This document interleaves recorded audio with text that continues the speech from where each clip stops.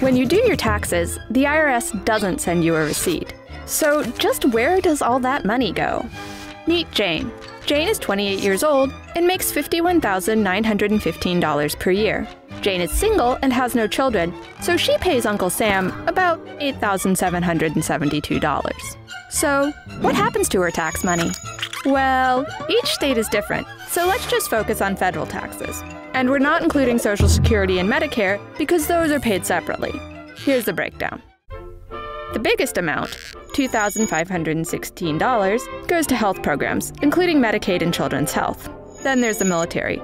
2,226 of Jane's tax dollars go to paying for our national defense, and a big chunk is dedicated to paying off the interest on the national debt.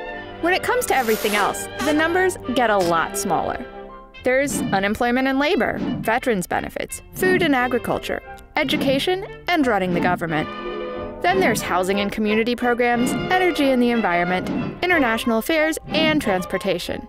Finally, a mere $96 goes towards scientific research, which includes NASA. Would you change how your tax dollars are used?